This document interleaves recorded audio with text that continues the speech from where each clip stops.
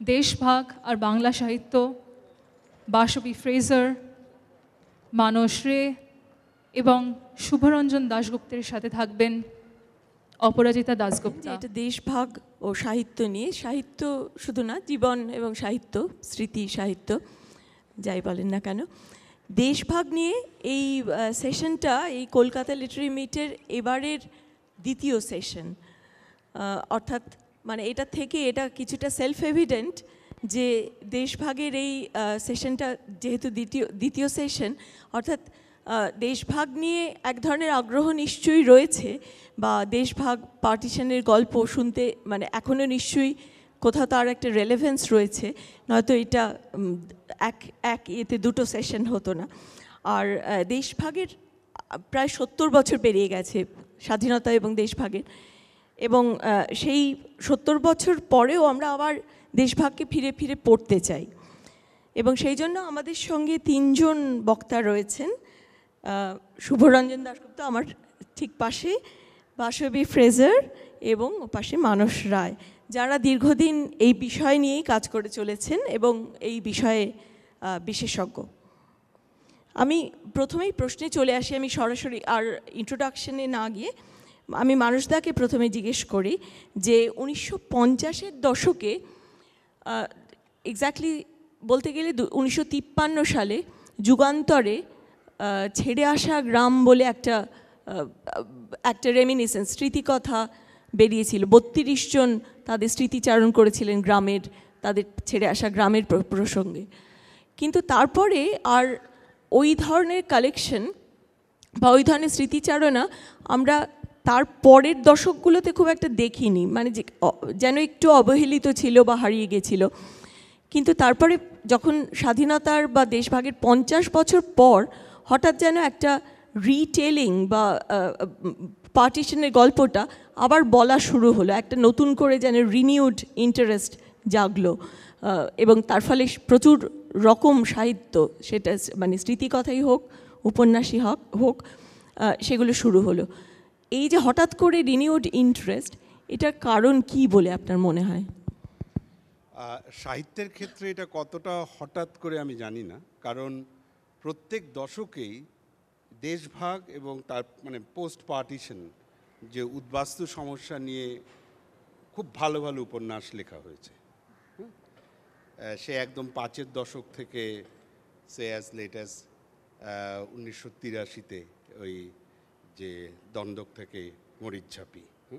শক্তিপদ রাজগুরুর উপন্যাস, সেটা আছে যেটা ইন্টারেস্টিং যেটা সিগনিফিকেন্ট সেটা হচ্ছে এই যে আলোচনা, এই যে একাডেমিক ডিসকোর্স সেটা কিন্তু তুমি যেটা বললে যে এই ভারতের তথাকথিত পঞ্চাশ বছর নাইনটিন নাইনটি সেভেন তখন থেকে যেন একটা মানে নতুন জোয়ার আসে ওকে এবং অন্য আরেকটা কথাও ঠিক তুমি বলেছ, যদি আমরা প্রাত্যহিক জীবনের কথা ভাবি, তাহলে ওই প্রথম কয়েকটা ভয়ঙ্কর বছরের পর যখন মানুষ মারা যাচ্ছেন, দলে দলে উদ্বাস্তু এই শহরে আসছেন বা বাংলা এবং আসামের বিভিন্ন প্রান্তে তারপর আমি আমার নিজের স্মৃতি থেকে বলতে পারি, যখন আমি ফোর ফাইভের ছাত্র, অর্থাৎ ছয়ের দশকের মাঝামাঝি যখন সময়টা,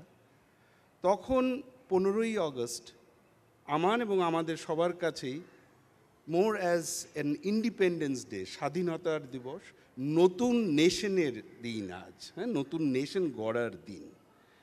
কাটা দেশের গল্প অতটা আমাদের তখন মনে হতো না। এটা শুরু হলো ওই যে বললাম, নয়ের দশকের শেষের থেকে। তার একটা কারণ হচ্ছে যে এই যে প্রথম দিকে একটা নৈশব্দের প্রকল্প প্রজেক্ট অফ সাইলেন্স বোধ নেশন স্টেটের জীবনের জন্য প্রয়োজন ছিল হ্যাঁ? ওই স্মৃতিগুলোকে যত কম উদ্রেক করা যায়, ততই বোধ হয় ভালো ছিল।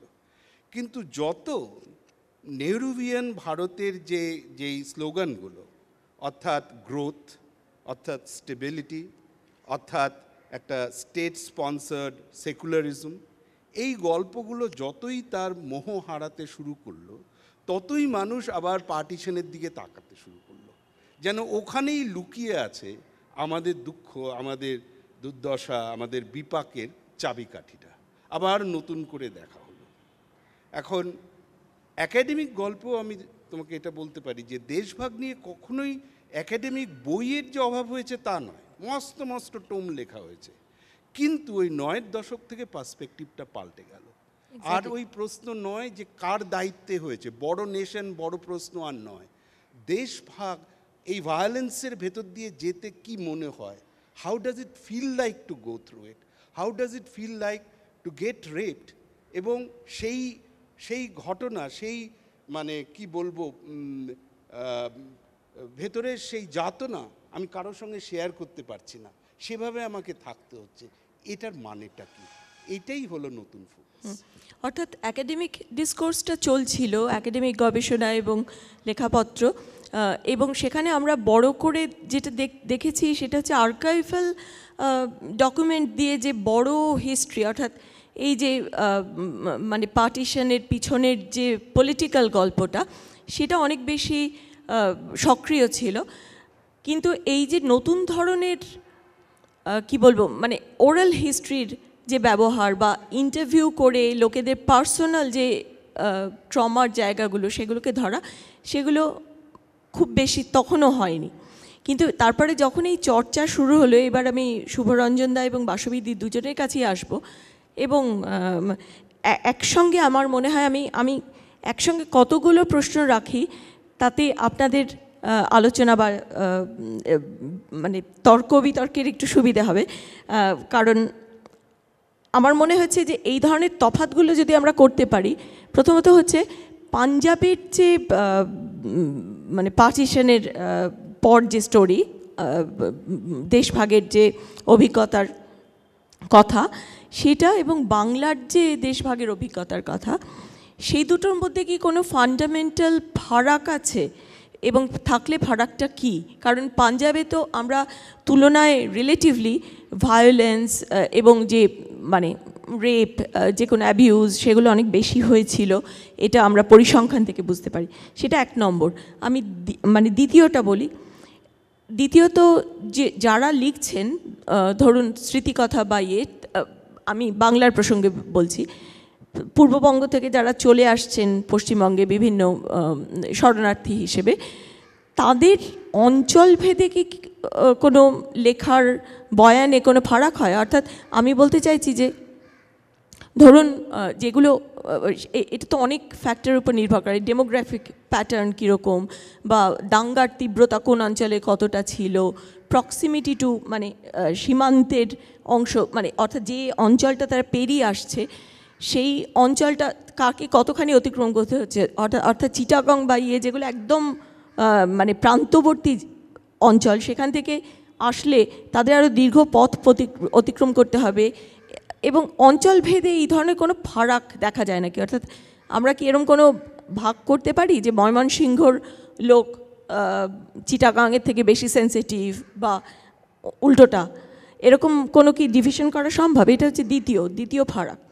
আচ্ছা তৃতীয়ত আমি বলতে চাই যে স্ত্রী পুরুষের মেমোয়ার এবং স্ত্রী এবং পুরুষের লেখা উপন্যাস, তাদের সেইগুলোর মধ্যে কি কোনো ডিস্টিংশন আপনারা পেয়েছেন? এটা হচ্ছে আরেকটা জিনিস যে মানে জেন্ডারের কি মানে দেখার ভঙ্গি কি আলাদা? অর্থাৎ কেউ হয়তো দেশভাগের পরে চলে আসছেন কোনো মেয়ে, তিনি হয়তো তার ওই হারানো গেরস্থালি মুংলি গাইটা তার তার জন্য তার বেশি মন কেমন করছে।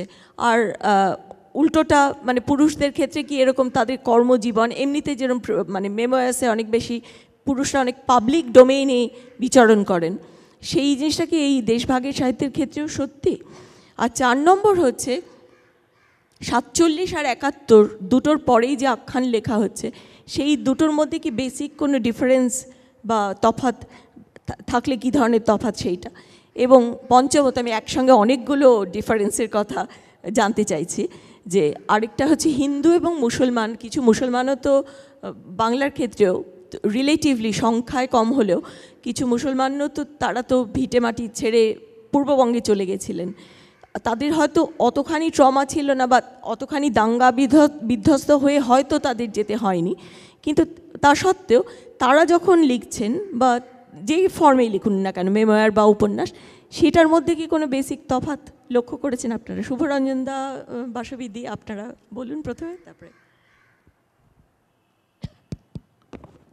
অপরাজিতা, তুমি বেশ কয়েকটি প্রশ্ন করেছ। তোমার প্রথম প্রশ্নে আমি আসছি, পাঞ্জাবের দেশভাগ, অর্থাৎ পাঞ্জাবকে বিভক্ত করা হলো এবং বাংলার দেশভাগ বিভক্ত করা হলো, এর মধ্যে মূল পার্থক্যটা কি? মূল পার্থক্য হলো পাঞ্জাবের দেশভাগটা এসেছিল ইন ওয়ান ফেল স্বুপ শেক্সপিয়ারের ভাষায়। একেবারে কয়েকটি রাত্রি, কয়েকটি দিন, কয়েকটি মাসের ভিতরেই জনগণের যাত্রা শুরু ও শেষ হলো এবং অসম্ভব নিষ্ঠুরতা, নির্দয়তার মাঝখান দিয়ে পাঞ্জাবের দেশভাগ সংগঠিত হয়েছিল।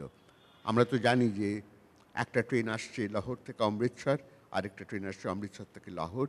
দুটো ট্রেনই যখন তাদের গন্তব্যস্থানে পৌঁছলো তখন ট্রেন থেকে বার করা হচ্ছে মৃতদেহ। এটা তো এক। কিন্তু বাংলায় দেশভাগটা এখনও রয়েছে। বাংলায় নির্দয়তা অত ওইভাবে ওই মাত্রায় ঘটেনি। নিষ্ঠুরতাও কম ছিল। কিন্তু ভিটেমাটি ছেড়ে পশ্চিমবঙ্গে চলে আসার যে স্রোত সেটা তো সাতচল্লিশ থেকে বাহান্ন সাল পর্যন্ত হয়েছিল। বাহান্নতে বরিশালে রায়টের পর আবার শুরু হলো একাত্তরেও হলো একাত্তরে অনেকে যারা এসেছিল তারা আর ফিরে যায়নি তারা এখানেই থেকে গেছে অর্থাৎ as far as Bengal is concern the partition is a continuous process. It, is, it did not come to us in one fell swoop. এটার মধ্যে একটা ধারাবাহিকতা আছে মাঝে মধ্যে পূর্ব পাকিস্তান বা পূর্ববঙ্গ বা বাংলাদেশের অবস্থার উপর নির্ভর করে এই যে জনস্রোত আসাটা কমেছে বা বেড়েছে। পাঞ্জাব এবং বাংলার দেশভাগের এই মূল পার্থক্যটা কিন্তু আমাদের মনে রাখতে হবে, কারণ এর প্রতিফলন ঘটেছে সাহিত্যেও। পাঞ্জাবের দেশভাগের সাহিত্যে আমরা মূলত যে নির্দয়তার প্রতিফলন দেখি, ততটা আমরা বাংলাদেশ ভাগের সাহিত্যে দেখি না। বাংলাদেশ ভাগে সাহিত্যে বরাবর একটা কথা বলা হয়ে থাকে, বরাবর না হলে অনেকাংশে আমরা ভয় পেয়েছি। আমরা বুঝছি যে আমরা এখানে থাকতে পারব না। আমরা ওখান থেকে শুনছি শঙ্খধ্বনি। আমরা স্লোগান শুনছি, নারায় তকদির বা আল্লাহু আকবার। এই প্রচণ্ড ভীতি এবং অনিশ্চয়তার হাত থেকে মুক্তি পাওয়ার জন্যই আমরা পূর্ববঙ্গ ছেড়ে, আমাদের ভিটেমাটি ছেড়ে, ছিন্নমূল হয়ে চলে এসেছি এ প্রান্তে। তোমার দ্বিতীয় প্রশ্নটা কি ছিল বলো? হ্যাঁ, দ্বিতীয় প্রশ্ন হচ্ছে অঞ্চল ভেদে মানে ধরুন ঢাকা কি ফরিদপুর কি ময়মনসিংহ এরকম কি কোনো স্ট্যাটিস্টিক্স মানে ইয়ে করা সম্ভব যে এখনও পর্যন্ত মানুষ হয়তো এটা বলতে পারবে না। আমি যদ্দূর জানি যদ্দূর গবেষণা করেছি এই অঞ্চলবাড়ি পরিসংখ্যান পাওয়াটা বোধহয় একটু ডিফিকাল্ট তবে কোন কোন জেলা থেকে এসেছিল সেটা আমরা বলতে পারি। যেরকম চট্টগ্রাম নোয়াখালী থেকে অনেকে এসেছিল।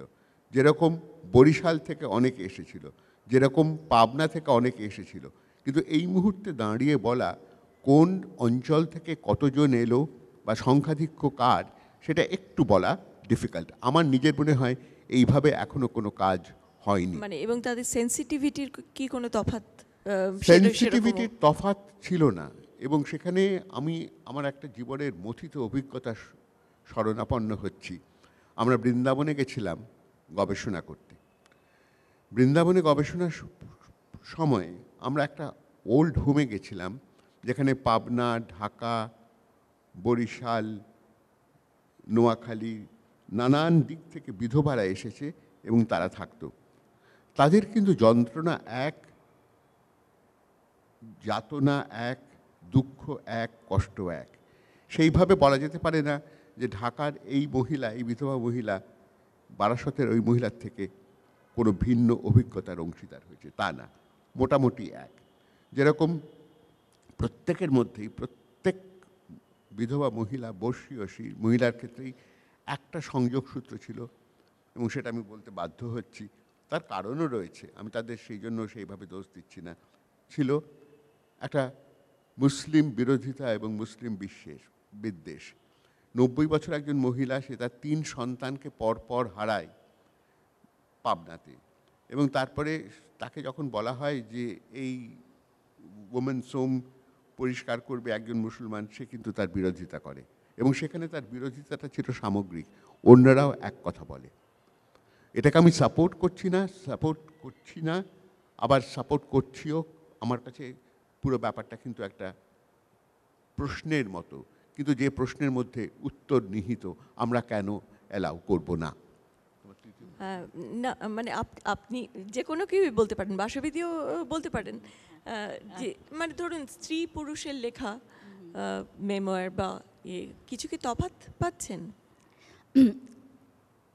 আমি বলব আমি নিজে রাইটার হিসেবে আমার একটা জিনিস লেখিকা হিসেবে মনে হয় যে স্ত্রী পুরুষের লেখার মাধ্যমে সবসময় কিন্তু বোঝা যায় না, এটা স্ত্রী একজন মহিলার লেখা না পুরুষের লেখা। এটা একটা ইউনিভার্সাল সত্য হ্যাঁ? আমরা এই টেস্টটা বহুবার করেছি। কিন্তু দেশভাগ সাহিত্যের মধ্যে স্বাভাব, স্বাভাবিকভাবে মহিলারা যখন লিখেছেন, যেমনি আমার বইতে জ্যোতির্ময় দেবীর একটা গল্প আছে এপার বাংলা, ওপার বাংলা, সেটা সেটা মহিলাকে নিয়েই। আবার সেলিনা হোসেনেরও গল্প আছে ওপার বাংলা থেকে, সেও মহিলাকে নিয়ে। হুম, কিন্তু তেমনি কতগুলো গল্প আছে যেখানে মেয়েরা মেয়েদের উপর যে ভায়োলেন্স হয়েছে সেই নিয়ে পুরুষদের লেখা আছে। আমি একটু পাঞ্জাবের তোমার ওই প্রশ্নটাতে অপরিচিতা ফিরে যেতে চাই। একটাই আমার, আমি যেটা গবেষণা করে পেয়েছি সেটা হচ্ছে হ্যাঁ সাতচল্লিশ সালে আমরা যেটা দেখেছি, বিশেষ করে সেই গোস্ট ট্রেন্স যেগুলোকে বলা হতো কোপস ভর্তি, মৃতদেহ ভর্তি যেগুলো আদান প্রদান হতো ওই সময়টা, ওটা মর্মান্তিক, ওটা সারা পৃথিবীকে একেবারে নাড়িয়ে দিয়েছিল। কিন্তু তার মানে না যে আমাদের বাংলায়, আমি অবিভক- অবিভক্ত বাংলার কথাই বলছি, যে আমাদের এখানে হিংস্রতা ঘটেনি। আমাদের we had a fair share of violence from the end মানে নাইনটিন সেঞ্চুরির শেষ থেকে শুরু হয় আর ফর্টি সিক্সে গিয়ে সেটা একেবারে চরম পর্যায়ে পৌঁছায়। তাই জন্যে যখন সাতচল্লিশ সাল ঘটে, তখন তখন বাঙালিরা ক্লান্ত। হ্যাঁ এবং আমার এই ইন্ট্রোডাকশনে আমার বই আমি নানান গবেষণা করে যেটা বলেছি, সেটা হচ্ছে যে বাংলায় যা ঘটেছিল সেই ঘটনার পরিপ্রেক্ষিতেই কিন্তু ভারতবর্ষের বিভাগ হয়। তাই যদি আমরা সারাক্ষণ যদি আমরা পশ্চিমের সেই সীমান্তর দিকে তাকিয়ে থাকি, তাহলে কিন্তু আমরা একটা অফুরন্ত একটা ইতিহাস পাই। তাই সেটা চিরকালই ভ্যালিড থাকবে। সাতচল্লিশ সাল উনস উনাকাত্তর সা- যখন আমরা সত্তর একাত্তর সালে আসছি তখন পার্থক্য একটা বিরাট। কেন ততক্ষণে প্রমাণ হয়ে গেছে যে শুধু ধর্মের ওপর দেশভাগ মানুষকে ভাগ করা যায় না। ভাষাটা একটা বিরাট একটা যোগাযোগের সূত্র। হ্যাঁ, যে ভাষার আন্দোলনটা বাহান্ন থেকে বাহান্ন থেকে শুরু হয়েছিল। সেটা অ্যাকচুয়ালি সেলিনা হোসেনের গল্পতে আছে। আর সেখানে একটা গল্প আমি এখন উল্লেখ করতে চাই এই বইতে আছে, সেটা হচ্ছে অনুপ্রবেশ। কেন তারপরে কি হলো? একাত্তর সালের পরে যারা উর্দুভাষী যারা তার আগে অনেক অনেক সুযোগ সুবিধা পেয়েছেন, কেননা ওটা ওটা পাকিস্তানের অফিসিয়াল ভাষা ছিল, তা, তাদের তখন স্থান কিন্তু রইল না। যারা ওয়েস্ট ওয়েস্ট পাকিস্তানের দিকে চলে যেতে পারলেও তাদের ব্যাপার আলাদা। অনেকেই কিন্তু রয়ে গিয়েছিল। তারা কিন্তু আমাদের এই গল্পটাতে বিশেষ করে যেটা আছে সেটা হচ্ছে তারা বিহারে আবার ফিরে এসেছে তাদের সেই ভিটে জমিতে। হ্যাঁ কিন্তু কীরকম দেশে এসেছে? সেই প্রশ্নটাই থাকে। তাই আমি অ্যাকচুয়ালি দুজনের সঙ্গে একমত যে পার্টিশন আমাদের ফুরায়নি। ইটস আমি বলি unclosed chapter it's an unfinished business এটা আমাদের সঙ্গে থাকবে। তার কারণ হচ্ছে আমাদের যে সংগ্রামটা চলেছে যারা এসেছেন এখানে এবং যারা ওখানে গেছেনও হ্যাঁ? এবং যাদের ওপর আমরা এসে চেপেছি। আমি আমরা বলব কেন আমরা সবাই ওই শরণার্থী পরিবারের আমরা সব ছেলে মেয়ে বলতে পারি। এই প্রসঙ্গে আমি একটু মানসদার কাছে আবার আসব। ফিরে যাব। শুভরঞ্জন দা কিছু বলছিলেন? বলুন বলুন আমি শুধু একটা কথাই বলব সেটা হলো এই যে হিন্দু মুসলিম সম্পর্ক এবং partition is a continuous process process of expurgation রবীন্দ্রনাথের চেয়ে ভালো এটা কেউ বোঝেননি। রবীন্দ্রনাথ বলেছেন আমাদের হিন্দু মুসলিম সম্পর্কে এত পাপ জমে আছে দুদিক থেকেই এত পাপ যে এই পাপস্খালন করতে আমাদের বহু বহু বহু বছর সময় লাগবে। আমি আমি- শুভরঞ্জনের সঙ্গে একমত যখনও পাঞ্জাব এবং বাংলার সাহিত্য তুলনা করছিল পাঞ্জাবের ভায়োলেন্সটা ছিল অ্যাবসলিউটলি নারকীয় ঐতিহাসিক। কিন্তু ইট ওয়াজ এ মানে ওয়ান ব্রাশ অ্যাফেয়ার পাঁচ মাস সাড়ে পাঁচ মাস। এবং তার ফলে ওখানকার যে সাহিত্য গড়ে ওঠে সেটা মূলত এই যে এক্সেস অফ ভায়োলেন্স এই এক্সেসকে আমি কীভাবে রিপ্রেজেন্ট করব? সেই প্রশ্নকে রেখে হ্যাঁ যেমন মান্টোর গল্পতে বারবার যেটা ফিরে এসেছে যে মানে মান্টো ল্যাঙ্গুয়েজের ভাষার একদম শেষ সীমানায় দাঁড়িয়ে আছেন। লিমিটস অফ ল্যাঙ্গুয়েজ হ্যাঁ? অর্থাৎ মানে how do I express something in a language where language has expired itself এবং তার ফলে মান্টোর লেখায় এবং আরও অনেকের লেখায়, কৃষ্ণা শক্তির লেখায় যেই ট্রোপটা বারবার ফিরে এসছে সেটা হচ্ছে madness okay when language has got know, haywire, bizarre. বাংলার সাহিত্যে যদি দেখো হ্যাঁ সত্যি তো বাংলায় তো কি হিংসা হয়নি? প্রচুর হয়েছে। কিন্তু এক বাংলার পার্টিশন আজও চলেছে।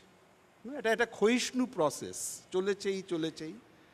প্রথম দিককার সাহিত্যে দেখতে পাবে একটা ল্যান্ডস্কেপ তার তার প্রাচুর্যে যে পূর্ববঙ্গের ল্যান্ডস্কেপ একটা অলমোস্ট মিথোলজিক্যাল জায়গায় যায়। এবং তার সঙ্গে কলকাতার একটা কম্প্যারিজন কনস্ট্যান্টলি আমি আমি এই প্রসঙ্গে একটুখানি মানে আহ, ইয়ে করছি মানে আপনার সঙ্গে।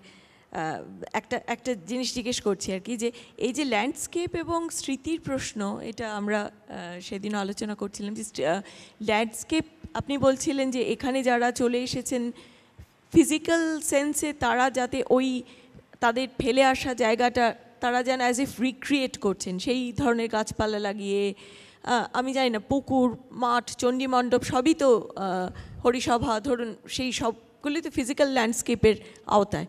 কিন্তু তার সঙ্গে আরেক ধরনের ল্যান্ডস্কেপও কি থাকে না যে, যেটা ধরুন সোশিওলজিক্যাল বা ডেমোগ্রাফিক ল্যান্ডস্কেপ মানে আমি বলছি যে, সেনহাটি কলোনি ধরুন যখন এখানে গড়ে উঠল, তখন সেটা কি একদম অবিকল রিক্রিয়েশন অফ সেনহাটি মানে গ্রাম ইন পূর্ববঙ্গ? নাকি মানে তার সঙ্গে ফিজিক এই যে গাছপালা বা ইয়ে তার সঙ্গে কতগুলো মানে আমি এখানে কাস্টের প্রশ্নটা আনব কারণ আপনি মানে এটা সব- সবাই জানেন যে আটচল্লিশ উনপঞ্চাশ এই এই সময় নাগাদ যারা চলে এলেন মানে পার্টিশনের একটু অল্প আগে বা ওই সময় তারা ছিলেন বেশিরভাগ অপরিচিত মানে বাঙালি।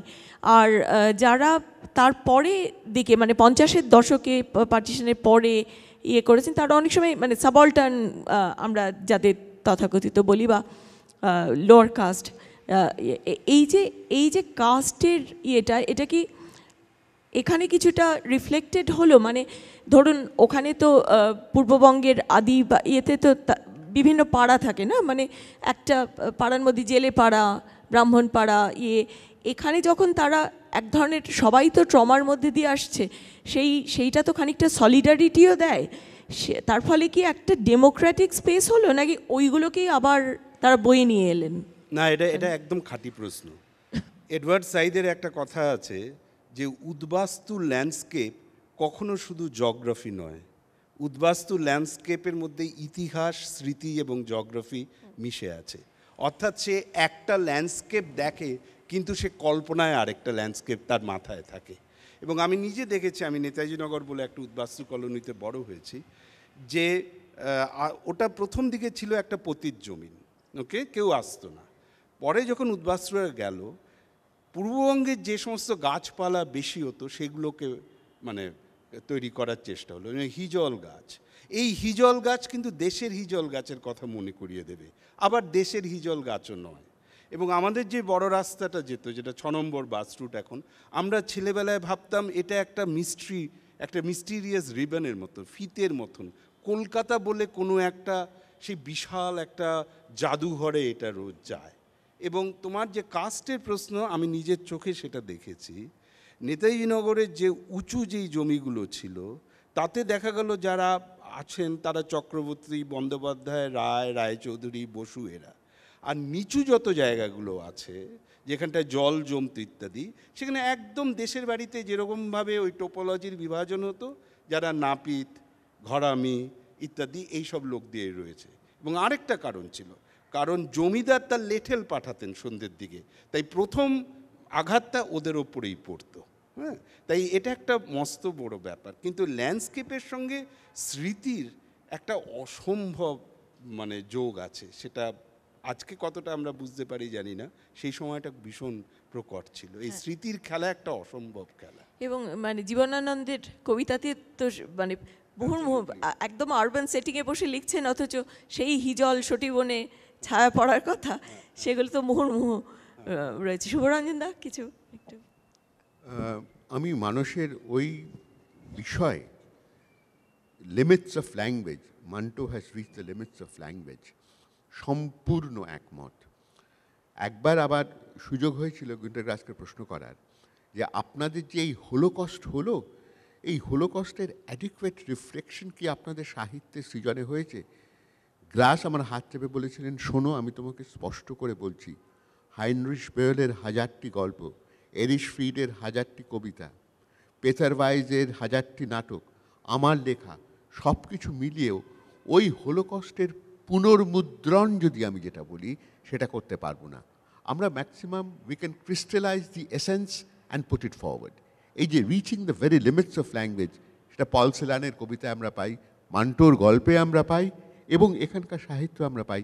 যেরকম এপার গঙ্গা ওপার গঙ্গা বাসবী জ্যোতির্ময় দেব। জ্যোতির্ময় দেবীর কথা বলেছি।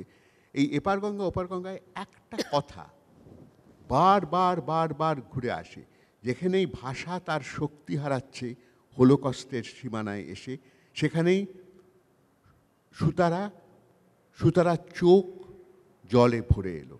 এই চোখ জলে ভরে এলো it's it's it's it's like ধ্রুবপদ in the উপন্যাস। বারবার বারবার আসছে এবং তারপরে আলটিমেটলি এই অশ্রুই যেন একটা পাথর খণ্ডে পরিণত হয়ে যায় আপনি আমি শুভরঞ্জনের প্রসঙ্গে একটা কথা জাস্ট একটা কথা জাস্ট বলতে চাই। এই ভাষা এবং নৈশব্দ এই ব্যাপারে আমার একটা বিতর্কিত অভিমত আছে। সেটা বাংলা সাহিত্যকে নিয়ে। দেখুন, যে কারণেই অন্তত বাংলায় দেশভাগ হোক না কেন, ব্রিটিশদের অনেক কারিকুরি আছে, তখনকার আমাদের এখানকার রাজনীতিকদের অনেক খেলা আছে, কিন্তু এর মূল সামাজিক কারণ হচ্ছে উচ্চ বর্ণের হিন্দুদের, হিন্দুরা মুসলমান পার্টিকুলারলি মুসলমান কৃষক এবং শ্রমজীবী মানুষের সঙ্গে যেটা করেছেন, সেটা এক ধরনের কলোনিয়াল এবং post colonial variant of apartheid যে আমার মাঠের মাঠের ধানটা গড়ে দেবে, সে যদি আমার বাড়িতে উঠোনে এসে দাঁড়ায়, আমাকে খাবার জল ফেলে দিতে হবে।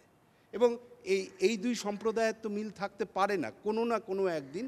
এবং যখনই বাংলায় বাঙালি মুসলমান মধ্যবিত্ত শ্রেণি দাঁড়াল সঙ্গে সঙ্গে সেটা আর্টিকুলেটেড হলো। এখন পশ্চিমবঙ্গে যে সাহিত্য সা- এ কেন্দ্র করে হয়েছে মানে যে সাহিত্য গড়ে উঠল ফর্টি সেভেন অনওয়ার্ডস তাতে কিন্তু এই যে অবভিয়াস যেই প্রশ্নটা তেমনভাবে এলো না। দুই এক জায়গায় ধরা হয়েছে। নীলকণ্ঠ পাখির খোঁজেতে দুই এক জায়গায় বলা হয়েছে, ছোঁয়াছুঁয়ির কথা। কিন্তু যে প্রাইমর্ডিয়াল ইম্পর্টেন্স পাওয়ার কথা ছিল সেটা হলো না। আর যখন যেটা অবভিয়াস প্রশ্ন, সেটাকে আপনি অ্যাভয়েড করেন, তখন পঞ্চাশটা অন্য কথা বলেন। এবং আইরনিক্যালি ওই পঞ্চাশটা কথা, অন্য কথা বলতে গিয়েই পাঁচের এবং ছয়ের এবং সাতের দশকের অনেকটা সময় জুড়ে বাংলা সাহিত্য মানে পরিপূর্ণ হয়েছে, অত্যন্ত ঐশ্বর্যময় হয়েছে এই এই আইরনিক গ্যাপটা দিয়ে। অন্য একটা কথা বলি, তা এর সঙ্গে জড়িত এবং একদম আলাদা। আমি প্রথম ঢাকা যাই আজ থেকে বারো বছর আগে। আমার বাবা মা ঢাকায় থাকতেন গ্যান্ডারিয়া বলে একটা জায়গায়। আমি সেখানে ঘুরে ফিরে, যাই হোক, এক জায়গায় এসে আমার মা বলতেন, যখনই পার্টিশন রায়টের কথা স্মরণ করতেন, যে যতক্ষণ শাখারি বাজার আছে, আমরা জানি আমরা নিরাপদ। ওকে? মানে মহিলারা। তা আমি সেই শাখারি বাজারের কাছে গেলাম। দেখলাম একটা সরু গলি ঢুকে গেছে। আমি হা করে ট্যুরিস্টের মতন দেখছি। হঠাৎ দিকে ওই প্রান্ত থেকে এক এক পৌর ভদ্রলোক সাদা থান গায়ে জড়ানো, এখানে চন্দনের তিলক আমার কাছে এসে দাঁড়ালেন। আমার চোখের দিকে দিকে তীব্রভাবে তাকিয়ে বললেন, আমাগরে দেখনের কিছু নাই, নিজেগো দেখেন। মা বিপদে পড়ছে দেখা সব পালাইছিলেন, এখন আইছেন আমগো দেখতে। আমরা কিন্তু আজকে পূর্ববঙ্গে যে মানে বাংলাদেশে যে হিন্দুরা আছে, তাদের কথা ভাবি না। এবং ধরে নিন, গত দশ বছরে কিছু না হলেও পনেরো লক্ষ হিন্দু চলে এসছে। এবং ওখানে কোনো জেনোসাইড হয় না, কিন্তু প্রাত্যহিক হামলাবাজি চলেছে। এটা আমরা কেউ বল- স্মরণ করি না, আমাদের দায় নেই, কারণ যারা আছে, তারা বেশিরভাগই নিম- নিম্নবর্গীয়, তাদের নিয়ে আমাদের অত মাথা ব্যথা নেই। আমি এই যে একটা কথা বললে তুমি, সেটা হচ্ছে যে ল্যান্ডস্কেপিং হুম? দুটো কথা বলব। একটা হচ্ছে পূর্ববঙ্গের যে জীবনধারাটা ছিল, সেটা শহরের বাইরে আমরা যদি বেরোই, বেশিরভাগটা ছিল রুরাল ল্যান্ড হোল্ডিংস সেখানে আমি আমার বাবার এক বন্ধুর কাছে শুনেছি যে উনি বরিশালের লোক, যে তিন মাইল রেডিয়াসে তিন এগারোটা হাই স্কুল ছিল, তিনটে টার্সারি কলেজ ছিল। তা ওটা মানে সব জায়গার সঙ্গে পূর্ববঙ্গটা তুলনা করলে চলবে না। কেননা শিক্ষা ছিল একটা বড় অঙ্গ জীবনের। আর ভিটে মাটি ধরে রাখতেন মহিলারা, পুরুষরা অন্যত্র গিয়ে কাজ করতেন। তাই একটা মোটামুটি আরবান রুরাল ডিভাইডটা থেকেও ছিল না। হ্যাঁ? এই একটা প্রসঙ্গ। তাই জন্য আমি ফিরে যাচ্ছি সেই ল্যান্ডস্কেপিংয়ের কথা এবং অঞ্চলের কথা। অঞ্চল অঞ্চল মাফিক কোনো বিভেদ আছে কি না? তাই জন্যে ওই ইস্ট বেঙ্গল আর ওয়েস্ট বেঙ্গলের বোধহয় ওই একটা পার্থক্য ছিল। হুম ল্যান্ডেড জেন্ট্রি যেটা। কিন্তু আমরা যদি কতগুলো গল্পে আবার ফিরে যাই, কেন আমরা তো দেশভাগের গল্পের কথা বলছি, সেখানে অনেক গল্পে নমশূদ্রদের কথা জানা যায়। যারা এসে চাষবাস করতেন এবং যারা ট্র্যাক্টরও চেয়েছিলেন। আমি ট্যান্ডন পেপার্স শ্যামাপ্রসাদ মুখার্জি পেপার্সে দেখেছি যে ওরা চিঠির পর চিঠি লিখছেন যে ওরা একটা ট্র্যাক্টর চাইছে অনেকগুলো পরিবার মিলে। হ্যাঁ কিন্তু সেটা পেল না। তো এই যে সংগ্রামটা if we go back to the whole idea of Manto writing beyond language and the Holocaust, যেটার কথা এখন হয়েছে Adorno বলেছিলেন uh, poetry after uh, Auschwitz is barbaric. এটাই কিন্তু মূলত রয়ে যাবে পঞ্চাশ বছর কেন এই নীরবতা ছিল কেন সেগুলো লেখা হয়েছে, অথচ বাংলার বাইরে বেরোয়নি। কেন অনেকে বাংলার অভিজ্ঞতার কথা জানেন না? তার কারণ হচ্ছে, তখন একটা সাংঘাতিক সংগ্রাম চলছিল, বাঁচার সংগ্রাম। হ্যাঁ এই নীরবতার প্রশ্ন ধরে আমি অন্য একটা পয়েন্টে আসতে চাই যে লেখকের তো সবসময় স্বাধীনতা থাকে যে, তিনি কতটা লিখবেন, কতটা প্রকাশ করতে চাইবেন, কি চাইবেন না, সেটা তার অধিকারের মধ্যে।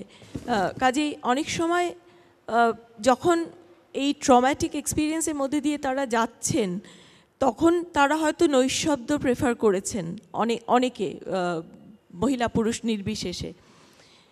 কিন্তু এখানে আমার এই আগের দিনের সেমিনারটাতেই একটা আলোচনা হচ্ছিল, সেইখানে একটা জরুরি প্রশ্ন উঠে এলো, সেটা হচ্ছে পশ্চিমে মানে পশ্চিমে পূবে দুদিকে এই যে পাকিস্তান নতুন নেশন স্টেটের উদ্ভব এই নেশন স্টেটের মধ্যে আবার কোথাও একটা একটা সেন্স অফ ভিক্টরি ছিল, একটা ট্রায়াম্ফ ছিল। যে ট্রায়াম্ফটা শুভরঞ্জন দার ট্রমা অ্যান্ড দ্য ট্রায়াম্ফ সেটা ওই ট্রায়াম্ফ থেকে সম্পূর্ণ আলাদা। এটা এটা হচ্ছে নেশন স্টেটের মধ্যে যে জয়টা থাকে। এখন সেই নেশন স্টেটের জয়ের সেটাকে সেলিব্রেট করতে করতে কখনো কখনো হয়তো পাঞ্জাবের সাহিত্যে বা মানে পাঞ্জাবের যে লিটারেচার আমরা দেখি তাতে হয়তো ওই বেদনা ওই ওই যে মানে সাংঘাতিক ট্রমা পেরিয়ে এসছেন সেটাকে হয়তো ব্যালেন্স করে দিয়েছে ওই নেশন স্টেটের মানে ট্রায়াম্ফটা কিন্তু বাংলা সাহিত্যেও কি সেই এই একই জিনিসটা ঘটেছে? বা বাংলা সাহিত্যে কি শুভরঞ্জন দা কি মনে করেন? কারণ বাংলা সাহিত্যেও তো বাহান্ন সালের পরেই তো ভাষা আন্দোলন শুরু হয়ে গেল। তার মানে তারাও যথেষ্ট ট্রায়ামফেন্ট ছিলেন না বা একটা কোথাও একটা অসন্তোষ দাঁড়া বাঁধছিল, কাজ করছিল গোড়া থেকেই। এই যে একটা নতুন দেশ গঠিত হলো, সেখানে মুসলিম, বেঙ্গলি মিডল ক্লাস আস্তে আস্তে নিজেকে এস্টাবলিশ করল। এই যে আখ্যান, এর মোটামুটি দু তিনটে দিক রয়েছে। একটা দিক, এই উনিশশো একান্ন বাহান্ন সালে লেখা উপন্যাস, আবুল ফাজলের রাঙা প্রভাত আবু রুস্তের নোঙর। শিরোনামগুলি বুঝিয়ে দিচ্ছে লেখকেরা কি বলতে চান। নোঙর, অর্থাৎ এতদিন তারা ভাসমান ছিল একটা বৈরী জলে, সেখান থেকে তারা একটা নোঙর পেল। সেই নোঙরটা কি না নিজেদের দেশ? রাঙা প্রভাত কি না স্বপ্নের দিন আরও আসছে? কিন্তু তুমি যখন এই উপন্যাস পড়বে, বিশেষ করে রাঙা প্রভাত, শেষ দিকে কিন্তু প্রশ্ন তোলা হচ্ছে। প্রথমটার উৎপত্তি এবং উৎস হলো দেশভাগ হিন্দু মুসলিম সম্পর্ক, যেটা মানুষ ভীষণ ভালোভাবে বলেছেন যে আমরা ওদের ছোঁয়া জল খাব না, ওদের ছায়া মারাতে পারব না। সেগুলো রয়েছে, কিন্তু শেষের দিকে রয়েছে যে এই নতুন দেশ পাওয়ার পরেও কোথাও যেন একটা প্রশ্ন, কোথাও যেন একটা সন্দেহ এবং সেই প্রশ্ন এবং সন্দেহ যেন ঘোষিত হলো বান্ন সালের ভাষা আন্দোলনে। ভাষা আন্দোলনে গিয়ে উপন্যাসটা থেমেছে। এটা একটা দিক সাহিত্যের। আরেকটা দিক যেটা ভীষণ ইন্টারেস্টিং সেটা হলো মুসলিম মিডল ক্লাস পার্টিশন চাওয়া সত্ত্বেও সে দেশেরই কয়েকজন লেখক, লেখিকা, তারা এই দেশভাগকে প্রশ্ন করেছিল এবং বলেছিল যে এই দেশভাগ to quote Arias is meaningless and tragic দুটি ধর্মের মধ্যে এদিক ওদিক চুরোচুরির বিভাগ থাকতে পারে, তার জন্য একটা সমগ্র জাতিকে এইভাবে বিভক্ত করতে হবে, এমন কোনো কথা নেই। এটা ইলিয়াসের কথা। আরেকজনের কথা আমি বলব, কায়েস আহমেদ, ভীষণ ভীষণ পাওয়ারফুল নভেলিস্ট সে এখানকার বর্ধমান থেকে চলে গেছিল ওখানে। ওখানে গিয়েও he felt himself to be refugee তার কোনো দেশ নেই, তার কোনো ঘর নেই। এবং কায়েস আহমেদ এটাকে এত ভালোভাবে বলেছে, আমি কোট করছি কায়েস আহমেদের কথাটা, যেটা আমার যেটা আমার ইডিএসের বইয়ে ছিল। সেখানে কি বলছে কায়েস? নির্বাসিত একজনে What is the meaning of refugee? Udbastu. That means he who has no home. But I do have a home. Still, I'm a refugee because I'm countryless. So, this freedom that we have gained after driving out the English, this Hindustan and Pakistan, is it to produce refugees? Is this the name of freedom? Freedom to be a refugee? Who are those who maneuvered and manipulated to turn human beings to refugees after so many years? এই বিস্ফোরক কয়েকটি লাইনের পরেই আমরা চলে যাই ইলিয়াসে যেখানে Ilias দেশভাগকে oppose করছে, আমরা সবাই জানি, তেভাগা দিয়ে। একটা প্যারাডাইম একটা কাউন্টার প্যারাডাইম এবং সেখানে বহু বিতর্কিত লেখিকা তসলিমার কতগুলো সুন্দর লাইন রয়েছে, এই দেশভাগ নিয়েই। সেখানে একাত্তর আর সাতচল্লিশ একেবারে একভাবে এসে যায়, এটা আমি এই ইংরেজি অনুবাদটা ইংরেজি অনুবাদটাই করছি। India was no discarded paper that you had to tear to bits. I want to erase the word 47 with rubber. I want to wash away the ink stains of 47 with water and soap. 47, the word pricks like a thorn in my throat. I do not want to swallow it. Th- that man who fought in, fought in 71 and won, that man who thrashed away the two nation theory, can never accept defeat at the hands of 47. আর একাত্তরে বাংলাদেশ স্বাধীনতা হওয়ার পর যে উপন্যাসগুলো লেখা হলো সেলিনা হোসেনের, Shahidullah Kaiser আগেই শহীদ হয়েছিলেন। সেগুলো মোটামুটি একটা নতুন স্বাধীনতা প্রাপ্তি, একটা নতুন দেশ গড়ার একটা প্রতিশ্রুতি এবং সংকল্প নিয়ে এলো। যে দেশের কোনো পিছু টান আর নেই, কারণ তারা পশ্চিম পাকিস্তান থেকে সম্পূর্ণ স্বতন্ত্র হয়ে গেছে। সুতরাং আমরা দুটো দিক দেখতে পাচ্ছি। একদিকে বেশ কয়েকজন ঔপন্যাসিক তারা welcoming the homeland with misgivings with সন্দেহ। আরেকদিকে বেশ কয়েকজন যারা র্যাডিক্যালি এই পুরো পার্টিশনটাকে ইগনোর এবং ডিসকার্ড করল। কিন্তু বাসবেদি যে একটু আগে বলছিলেন সেই, ওই বক্তব্যটার সঙ্গে কিন্তু আমি সম্পূর্ণ একমত নই যে মানে মেয়েদের, মহিলাদের লেখা এবং পুরুষদের লেখা সবসময় যে আলাদা করা যায় না। কারণ আমরা এইটা, এই, এইটার সঙ্গেও খুব পরিচিত যে পুরুষদের লেখার মধ্যে পাবলিক ডোমেনের কথা এমনিতে ইন জেনারেল বলছি, দেশভাগের কনটেক্সটে বলছি না। পাবলিক ডোমেনের কথা, তাদের যে মানে অফিস তাদের যে বাইরের দুনিয়াটা, সেটার কথা সাধারণত অনেক বেশি আসে। কম্পারেটিভলি মহিলাদের লেখায় সেটা একটু তুলনামূলকভাবে কম আসে। ঘর গেরস্থালির কথা বা তাদের যে প্রাইভেট যে যে জীবনযাপন, সেটার কথা অনেক বেশি উঠে আসে। মানে এই প্রসঙ্গে আমি শুভরঞ্জন দা এবং মানুষ দা যে যারা মানে যারা দুজনেই পুরুষ তাদের একটু মতামত শুনতে চাইব যে তারা কি মনে করেন? এই জেন্ডারের জেন্ডার বিশেষে মানে পুরুষ এবং স্ত্রী বিশেষে কি লেখার চরিত্র স্পেশালি পার্টিশনের কনটেক্সটে কিছু পাল্টেছে বা বদলেছে? আমি একটু এটার কথা বলতে চাই। কিন্তু ওদের পরে বলছি। না আমি তোমার সঙ্গে একমত অপরাজিতা আমার মনে হয় সাবিত্রী রায় যে এই দীর্ঘ উপন্যাস লিখেছিলেন বদ্বীপ। সেটা একজন মহিলাই কেবল লিখতে পারেন। এবং আরেকটা কথা আমার মনে হয় উপন্যাসটা তার সময়ের অনেক আগের। মানে যেই সময়ে তিনি লিখছেন তিনি অলমোস্ট ভিশনারি তিনি দেখতে পাচ্ছেন অনেক কিছু। একটা লেফট সাবজেক্টিভিটি লেফট সত্তা এবং সেখানে একজন মহিলা প্রশ্ন এনে এবং কলোনির যে ডেসক্রিপশনগুলো তিনি দিচ্ছেন বা আশাপূর্ণা দেবীর লেখায় যেমনভাবে প্রাত্যহিকতা আসছে, তার একটা বিশেষ ঢং আছে হ্যাঁ? সেটা আছে, কিন্তু আমি এক, আবার ওই শুভরঞ্জনের প্রসঙ্গেই ফিরে যাচ্ছি, সাতাত্তর এবং একাত্তর সরি সাতচল্লিশ এবং একাত্তরের প্রসঙ্গে। একদিকে হ্যাঁ কিছু ইন্টেলেকচুয়াল সাহিত্যিকের কথা বাদ দিলে এটা সাতচল্লিশটা এসেছিল একটা উইন উইন সিচুয়েশন হিসাবে। যতই মারামারি হোক, দাঙ্গা হোক, সম্পত্তি ক্ষয় হোক ইত্যাদি। কারণ বাঙালি উচ্চবর্ণের হিন্দু কখনোই সেই দেশে থাকতে চাইবে না যেখানে মুসলমানরা সংখ্যাধিক। এটা একদম স্পষ্ট ছিল। এবং অন্যদিকে মুসল বাঙালি মুসলমানরা একটা দেশ চেয়েছিল হ্যাঁ? এবং তারা সেটা পেয়ে যায়। মজাটা হচ্ছে একাত্তর আসার পর একটা সাধারণ ঘটনা বলি, এক ট্যাক্সি ড্রাইভারের সঙ্গে আমার কথানুপ কথন ঢাকাতে গিয়ে। উনি ওই গ্যান্ডেরিয়ার পাশ দিয়ে যাচ্ছিলেন। আমি বললাম যে, জানেন, যদি পার্টিশন না হতো, আমি এই পাড়ার ছেলে হতাম। আমি এখানে ঘুরে বেড়াতাম। বলে, কি? কি কন? আলাম পার্টিশন, দেশভাগ। কি পার্টিশন? আমি বললাম যে হ্যাঁ জানেন না পার্টিশন? এই যে ভাগ হয়ে গেল, তা সবাই চলে গেল হিন্দুরা। বলল, ও, আপনি কন বলতে? তাই আমার মনে পড়তেছে, আমার মা একবার কইছিল, এইসব জায়গায় এক সময় হিন্দুতে পিলপিল করতো। তা আপনারা চইলা গেলেন কেন? This was his answer question তারপরে আমি বললাম আচ্ছা। আমি ভাবলাম, লোকটা কি একেবারেই নিরেট? তাই ভাবলাম আচ্ছা একাত্তরের যুদ্ধের কথা জানেন? আর যাই কই। যতক্ষণ ওই গাড়িতে রইলাম, ও একাত্তরের যুদ্ধের কথা বলে গেল।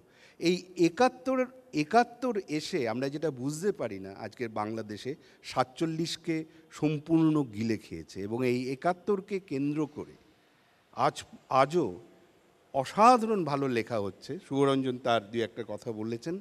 আমি একজনের কথা বলব। শাহিন আক্তার। শাহিন আক্তারের একটা উপন্যাস আছে, তার নাম তালাশ, যেটা ইংরেজিতে অনুদিত হয়েছে। জুবান থেকে কিন্তু এমনই আমাদের দুই বাংলার সম্পর্ক। শাহিন এখানে অনেক পাবলিশারের কাছে গেছে, সেটার একটা প্রকাশনার জন্য এটা হয়নি। সেই তালাশে যে কেন্দ্রীয় চরিত্র মারিয়েম, সে বাংলাদেশ যুদ্ধের সময় মানে ফাঁপড়ে পড়ে যায়, তাকে আর্মি ক্যাম্পে থাকতে হয় বিজনেসম্যানের কাছে থাকতে হয়, তারপরে সে বেরিয়ে আসে। সেইটা কথা নয়। কথা হলো তার স্মৃতিটা কীভাবে পাবলিক প্রপার্টি হয়ে যায়, একটা আফটার মেমরি ডোমেনে চলে যায়। যখন যেই পলিটিক্যাল পার্টির দরকার হয়েছে, এই ম্যারিয়ামকে ওপরে তল- তোলার, তখন তিনি বীরঙ্গনা হয়েছেন। যখন তারা গণ্ডগোলে পড়েছেন, তখন মেরিয়াম হয়ে গেছে মানে বেশ্যা। এবং এই যে পুরো কথনটা, স্মৃতির কথন, যেভাবে ধরা হয়েছে, মুক্তি বলে একটি চরিত্র আছে। সে রিসার্চ করতে এসছে মেরিয়ামের ওপর সে শুধু যখন কথা বলছে, সেগুলো আছে। মাঝে মাঝে মুক্তি নেই। কিন্তু তাই বলে আখ্যান দাঁড়িয়ে নেই, আখ্যান চলেছে। পরে আবার যখন মুক্তি আসছে, সে আগে পিছু কিছু জানছে না। এই যে স্মৃতি, স্মৃতির বয়ান এবং স্মৃতির লেখন, কীভাবে এক জায়গায় আনতে হয়, এই উপন্যাসটা পড়লে খুব স্পষ্ট বোঝা যায়। মানুষ তো আমি এক মিনিট একটু একটু আপনাকে থামিয়ে আরেকটা জিনিস বলছি, এই যে ভুলে যাওয়ার প্রসঙ্গে বললেন, আপনি ট্যাক্সি ড্রাইভার জানিই না ফর্টি সেভেনের কথা, দেশভাগের কথা। এইটার প্রসঙ্গ ধরে আমি বলতে চাই যে ধরুন আমাদের জেনারেশন যখন ছোটোবেলায় আমরা বড় হয়েছি, আমরা তো পার্টিশনের পরবর্তী প্রজন্ম, আমরা পার্টিশন দেখিনি দেশভাগও দেখিনি। কিন্তু আমাদের পারিবারিক গল্পে সবসময় দেশভাগ উদ্বাস্তু, শরণার্থী সমস্ত গল্পগুলো আমরা উঠে এসেছি এবং তার, সেটা থেকে আমরা মানে মনে মনে একটা মানে মানুষ সৃজন করে নিয়েছি যে কীরকম ছিল, কীরকম হয়েছে, আমাদের কাছে তার একটা বয়ান রয়েছে। কিন্তু ধরুন, এখন যে নেক্সট জেনারেশন এখন যে ইয়াং জেনারেশন যারা, তারা তো আরও অ্যাট অ্যানাদার রিমুভ তারা তো পার্টিশন দেখেনি তো দূরস্থান মানে তাদের কাছে ওই গল্পের, আমাদের যে গল্পের ভাড়াটা ছিল পারিবারিক সূত্রে, তাদের কাছে ওইটাও কমে এসছে।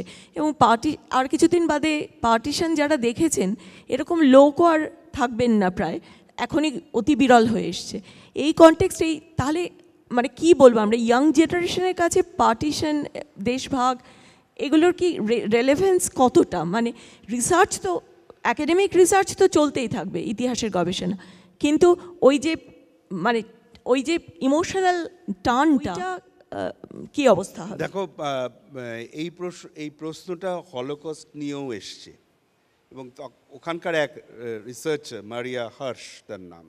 তিনি একটা শব্দ কয়েন করেছেন, তার নাম পোস্ট মেমোরি হ্যাঁ সেখানটায় দেখা যায় কি, যে আমরা যেই জেনে, আমি জন্মেছি উনিশশো চুয়ান্নতে এবং কলকাতায় নেতাজি নগরে এবং আমি ধরে নিচ্ছি আমার সময় থেকে তোমাদের সময় বা তারও পরে, বাড়িতে পার্টিশনের এত গল্প হতো, ঠাকুমা ছিলেন কন্টিনিউয়াসলি এবং আমি যেহেতু একটা উদ্বাস্তু কলোনিতে বড় হয়েছি, আমার মনে হতো আমি ঢাকাতেই আছি বুঝি। মানে বাঙাল ভাষা ছাড়া কোনো ভাষা জানতাম না।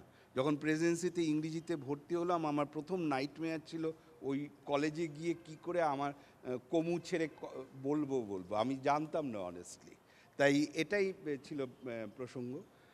কিন্তু, এবং তাকে হেল্প করেছে যে বিভিন্ন ফটোগ্রাফস অনেক কিছু ফার্স্ট হ্যান্ড দেখা।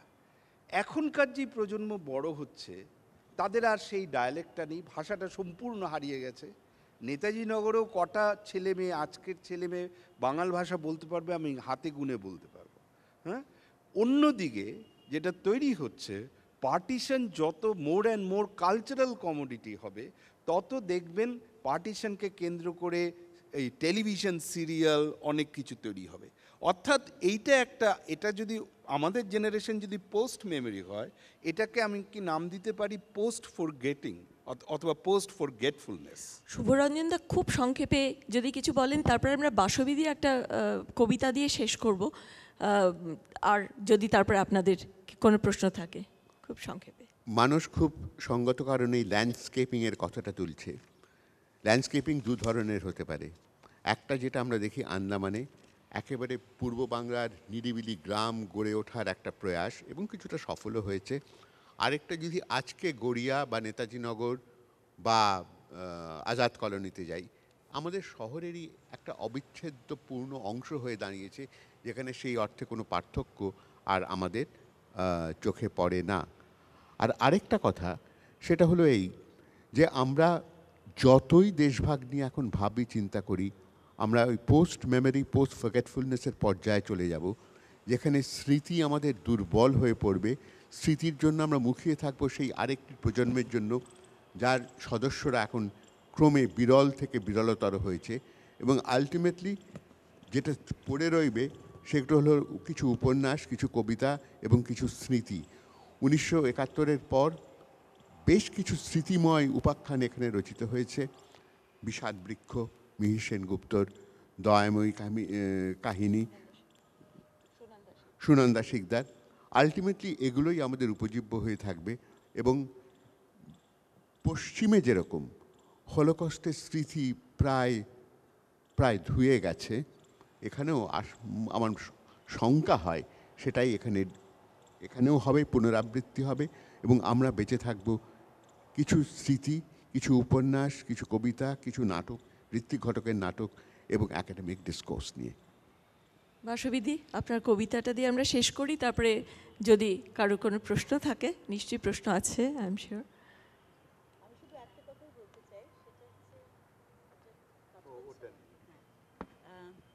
সেটা হচ্ছে আমার কথাটা একটু ভুল বোঝা হয়েছে। আমি যেটা বলছিলাম যে মহিলা লেখক আর পুরুষ লেখক যখন যখন আমরা ক্লাসরুমে নাম বাদ দিয়ে ছাত্রছাত্রীদের দিই তখন কিন্তু ওরা বলতে পারে না কোনটা পুরুষের লেখা কোনটা মহিলার লেখা। সেটা কিন্তু ইজ এ ডিফারেন্ট ম্যাটার একটা বড় debate সেটা একটা ঠিক আছে, আমি হ্যাঁ, হ্যাঁ, আপাতত হ্যাঁ সেটাই বলছি না আমি সেটাই বলছি আমি কিন্তু সেটাই বলেছি। তারপরে আমি জ্যোতির্ময়ী দেবী আর সেলিনা হোসেনের কথা বলেছি তাই এটা একটু ভুল বোঝাবুঝি হয়েছে। হ্যাঁ এটা আমার এই কবিতাটা দিস বর্ডার এটা আমার আমি যখন কাজ করেছি পোস্ট মেমোরির কথা আমরা বলছি। পোস্ট মেমোরি এবং we need to remember in order to in order to forget and we need to forget in order to remember দুটোই কিন্তু প্রযোজ্য এই ক্ষেত্রে। তা আমা- আমাদের সবার একটা জিনিসই মনে হয়, এখন একটা জিনিস প্রমাণ হয়ে গেছে যে বর্ডার আমরা টানতে পারি। সেটা একটা শ্যাডো লাইন জিওগ্রাফিক্যালি তার কোনো অস্তিত্ব নেই, সেটা আমাদের মনের মধ্যেই থাকে। আমরা বর্ডার টানতে পারি, কিন্তু আমরা কি ভাগ করব। আমরা সব ভাগ করতে পারব? মানুষের পরিবার ভাগ হয়েছে, বন্ধুবান্ধব ভাগ হয়েছে, নদী ভাগ করতে পারব? ভাষা ভাগ করতে পারব, সাহিত্য ভাগ করতে পারব? তাই ভাগটা কীভাবে হবে? তা এটা একটা ছোট্ট বাচ্চার গলায় লেখা। সে তার কণ্ঠস্বরে আপনারা কল্পনা করে নেবেন, এটা আমার পাকিস্তানি বন্ধু শাহিদকে আমি এটা লিখেছি। তার কারণ হচ্ছে শাহিদ ওখানে পেশাওয়ার থেকে এসে এক গবেষণা করছিল। তখন আমার মনে হলো, ও আমার বন্ধু, কিন্তু আমি যদি ভারতবর্ষে থাকতাম আর ও যদি পাকিস্তানে থাকতো, তো কোনোদিন আমার বন্ধু হতে পারতো না। সো এটাই সেই কবিতা this border There was a time when you and I chased the same butterfly, climbed the same stolid trees with the fearless expertise that children take for granted before their faith is stunted. Do you remember how we balanced a wheel down dusty paths with childish zeal?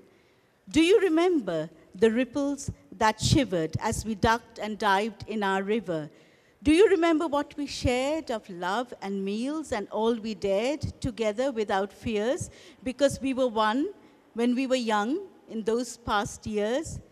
Before we knew that butterflies were free to share our separate skies, that they could cross with graceful ease to alight on stationary trees on either side of this strange line that separates yours from mine, for whose existence we rely entirely on our inward eye.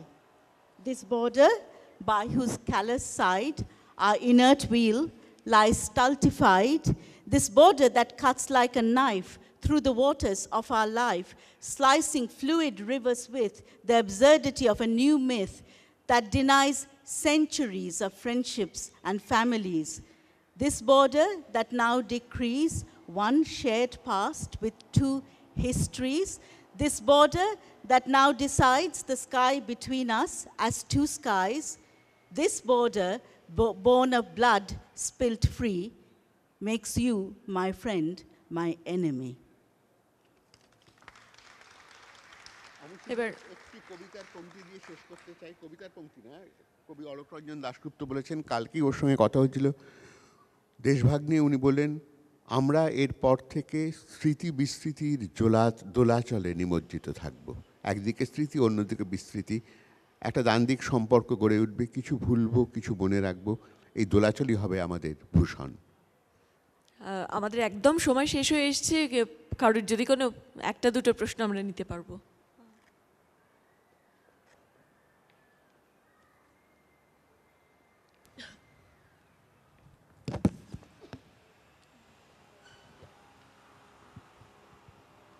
মানে আমার দুটো কথা বলবার ছিল, এমনিতে প্রশ্ন খুব একটা নয় সেটা। এক হচ্ছে প্রথমে যখন কথা হলো যে সাতচল্লিশের দেশভাগে পাঞ্জাবের দিক আর বাংলাদেশের মানে এখনকার বাংলাদেশের দিকের মধ্যে পার্থক্য, খানিকটা কি পাঞ্জাবের দিকে কি মানে এখনকার বাংলাদেশের দিকটা রাদার অনেকটা ইউনি ডিরেকশনাল ছিল না? খানিকটা হলো পুরোটা নয়। কিন্তু পাঞ্জাবের ক্ষেত্রে বোধহয় দুদিকেই সমান পরিমাণ বাস্তুহারা লোকেরা এদিক ওদিক গেছে। এটা আমার একটা মনে হলো পার্থক্যের মধ্যে বোধহয় পড়ে। খানিকটা হলেও বোধহয় ইউনি ডিরেকশনাল ছিল না কি? কিছু লোক এখান থেকে অবশ্যই গেছিলও পারে এবং কমিউনিজমের খাতিরে অনেক লোক এখান থেকে সেখানে গেছিল ঢাকায় থাকতে। কিন্তু অনেক কম বোধহয় পরিমাণে। হ্যাঁ। আপনার কি হ্যাঁ আর আর প্রশ্ন আছে? আর একটা কথা আর একটা প্রশ্নও আছে। আর একটা কথাও হচ্ছে যে আপনি যে বলছিলেন যে ডেমোক্রেটিক কিনা যারা ফিরে এলেন উদ্বাস্তুরা এবং উনি পরে বললেন যে কীভাবে মানে উচ্চবর্ণ এবং নিম্নবর্ণের মধ্যে পার্থক্য করা হচ্ছে। আরেকটা বোধহয়, আরেকটা পার্থক্য যেটা ঋত্বিক ঘটকের সুবর্ণরেখা দেখলে দেখা যায় যে, তুমি পাবনার উদ্বাস্তু নাকি তুমি ঢাকার উদ্বাস্তু? তুমি যেখানকার উদ্বাস্তু, সেখানকার ওপরও তুমি ডিসক্রিমিনেটেড হবে ফ্রম নাও অন এই ক্যাম্পটা শুধুমাত্র পাবনার উদ্বাস্তুদের ক্যাম্প। এখানে তোমার জায়গা হবে না। এবং বাগদি বউ সম্পূর্ণ সিনেমাটায় বাগদি বউ হিসেবে ট্রিটেড হতে থাকে, শুধুমাত্র because of the beginning of the movie she was পাবনার উদ্বাস্তু অ্যান্ড নট ঢাকার উদ্বাস্তু। এইটা একটা মনে হলো।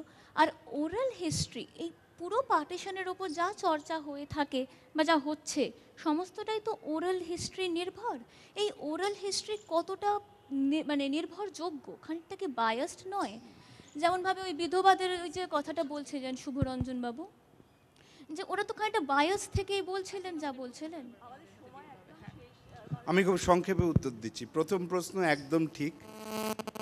পাঞ্জাবের এই যে ডেমোগ্রাফিক যে ট্রান্সফার সেটা যে যেরকম সেটা বাংলার নয়।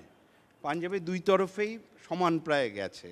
অন্তত একটা কমিউনিটি ওখানে পুরো চলে গেছে, আর একটা আর দুটো কমিউনিটি ভারতের দিকে চলে এসছে। এক নম্বর, সেটা একদম ঠিক কথা। দু নম্বর কথা হচ্ছে এই যে বিভিন্ন জেলার যে বিভিন্ন হাইরার্কি এখানটায় রয়েছে, সেটা আমি নিজের চোখে দেখেছি।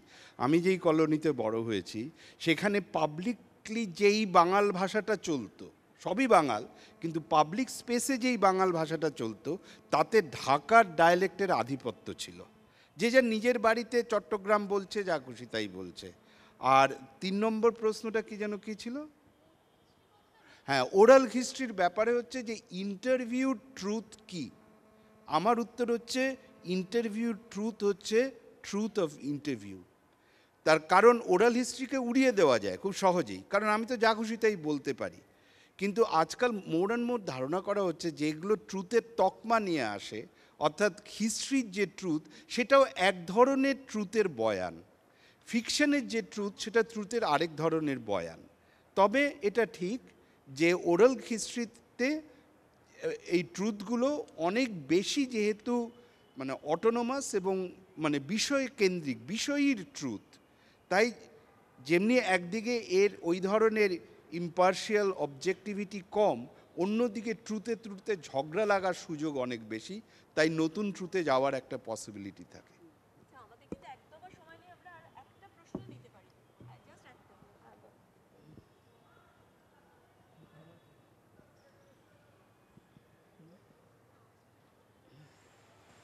হ্যালো না, আমাদের এই আলোচনায় যেটা ছোঁয়াছুঁয়ির ব্যাপারটা দেখলাম মানে সব জায়গাতেই উঠে এসছে ফ্রম দ্য গ্রাসরুট লেভেল তো মানে আমরা এখনও দেখি যে এই ছোঁয়াছুঁয়ির ব্যাপারটা এখনও অনেক জায়গাতেই, অনেক বাড়িতে মানে আমাদের কোর লেভেলে রয়ে গেছে।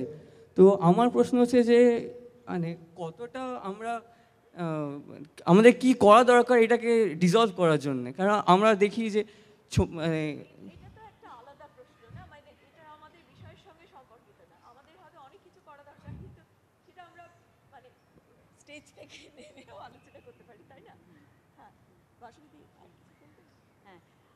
আমি একটাই শুধু কথা বলতে চাই, সেটা হচ্ছে নানান রকমভাবে ওটা অ্যাড্রেস করা যায়। আমি শুধু একটা ছোট্ট কথা বলব, আমার বাবা এখানে এসেছেন, উনি চট্টগ্রামের মানুষ, আমার মা ঢাকার থেকে এসেছিলেন। হ্যাঁ এবং বাবাকে যখন প্রেসিডেন্সি কলেজে ভর্তি হলো, বাবাকে খুব সজাগভাবে নিজের অ্যাকসেন্টটা চাপা দেওয়ার চেষ্টা করতে হয়েছিল। নাম্বার ওয়ান নাম্বার টু আমার দাদ- ঠাকুরদা দুজনেই কিন্তু সেই পঁচাত্তর ভাগের উদ্বাস্তুর মধ্যে পড়ে, যারা নিজেদের রেফিউজি ডিক্লেয়ার করেনি। হ্যাঁ? তাই আমরা যখন রেফিউজির কথা বলি, আমাদের মনে করতে হবে যে পঁচিশ ভাগ টোয়েন্টি ফাইভ পার্সেন্ট শুধু ডিক্লেয়ার্ড রেফিউজি অন্যরা কিন্তু হিডেন রেফিউজি ছিল। তাই জন্যে বাবা যখন প্রথম সংসার করলেন, তখন দুই দিকের ভাই বোন এসে সঙ্গে ছিল। এটাই ছিল যৌথ পরিবারের ধরন। সেখানে বাবা, একটা পাক সার্কাসে আমরা থাকতাম। আমাদের যে রান্নার মাসি ছিলেন, তিনি ছিলেন মুসলমান। আর বাবা হচ্ছে ভট্টাচার্য। তো বাবার বন্ধুরা সব বলেছিল, বিমলেন্দু, তোমার বাড়িতে আমরা কেউ খেতে আসব না। তো বাবা বলেছিল সেটা তোমাদের প্রবলেম সবাই কিন্তু খেতে আসতো আর মাসির রান্না খেতে আসতো। তাই সেটাও হয়েছে। হ্যাঁ? সেটা তোমার now I got my answer thank you